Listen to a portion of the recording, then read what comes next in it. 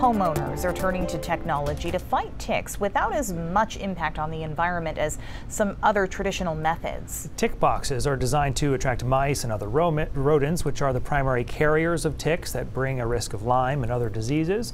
Research shows that tick boxes take longer to be effective than spraying, but that they can be 90% effective within two years.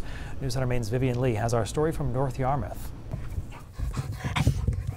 Alicia Dostillo's Silver Lab Opa loves playing catch in this sprawling yard, even on a steamy hot day. Can you sit? But when the family moved in seven years ago, being outdoors posed a risk for tick borne diseases. My daughter was out riding her bike and she put her helmet down on the grass and we picked it up and there were like four ticks on her helmet. Alicia had her property sprayed with an organic pesticide in an effort not to harm pollinators and her groundwater. But the ticks persisted. Then a friend told her about tick boxes. I haven't found ticks on any of us from being in our yard.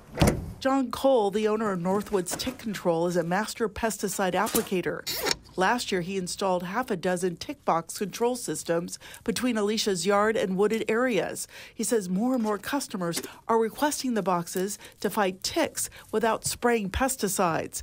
The boxes contain bait that attracts white footed field mice, chipmunks, and other rodents, the main carriers of Lyme and other pathogens. The rodents go inside, and over time, over a year's time, these mice will have fewer ticks on them and fewer ticks on the mice means fewer ticks on humans and pets.